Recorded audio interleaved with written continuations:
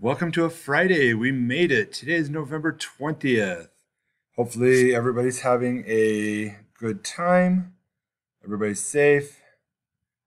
This is a video for those people who are absent or are in need of assistance. Today's kind of an easy day because we are logging into School City. Um, for self-start today, students will be turning in their homework packets. Those people that are absent, you are welcome to either turn in your homework packets when you come back uh, or several of you have just emailed the homework to me and I will count those for you. As far as announcements go, uh, today is the last day to fix any oops on feedbacks as well as turn in last week's blue packet. Um, hopefully those people are, that are at home have already done those and are good. Um, because we have a couple of down days after today, we I want you guys to be able to have a say in what we do. So we're needing some activities for Monday and Tuesday of next week. So what you're going to do is you're going to log into Canvas. You're going to click on announcements. And you're going to click on the link. Uh, it's the first one that says uh, end of trimester activities. You answer both questions that ask you basically what do you want to do for those two days and we'll figure that out, see how things go.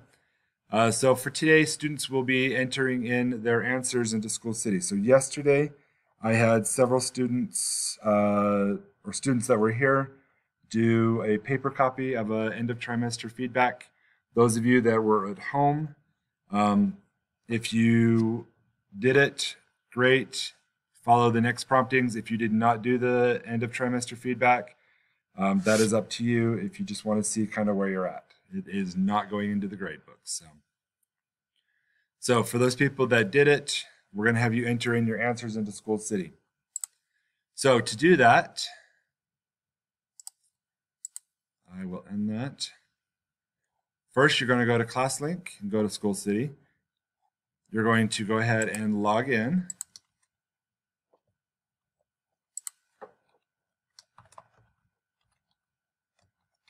There we go.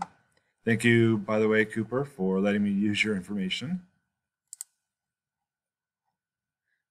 So once you've logged in, you are going to click on Take Assessments.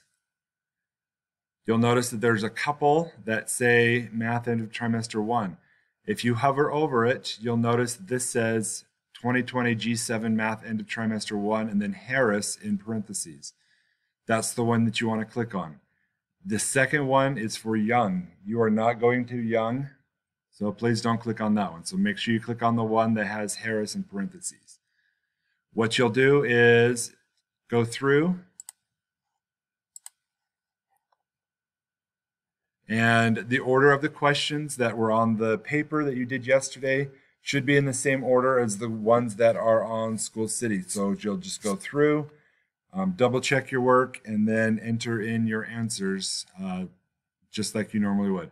So whatever question answer or question number one answer was, you just transfer to question number one on School City. Uh, make sure you type in all of your answers correctly. Uh, people tend to forget decimals or negatives and stuff like that when they're transferring the information. So just make sure that you are doing that. Um, other than that, that's really it. If you have any questions, please contact uh, your teacher, Canvas, email, and we will see you hopefully next week. Bye-bye.